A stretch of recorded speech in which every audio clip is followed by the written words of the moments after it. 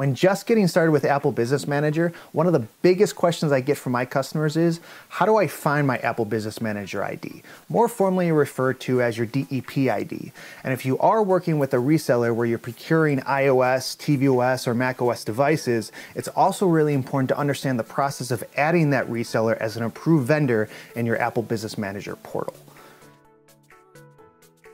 Sure, this is the really quick version of just getting straight to the facts of where do I find my organization ID. So to get started, go to business.apple.com.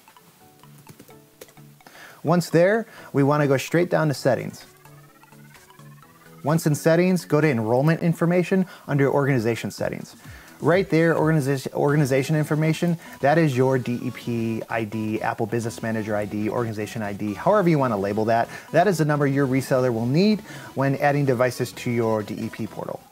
Um, and then uh, how to add a reseller as an approved vendor in your portal, go down to device management settings, under customer numbers, hit edit. And then under this reseller ID, I've already added CDW, but um, just ask your reseller for their reseller ID and that's and add it here and then click done and you're done. So that is how to find your um, Apple Business Manager organization ID as well as add a reseller to, as an approved vendor in your portal. So I hope that was helpful um, and, and a quick video for the community. So thank you very much.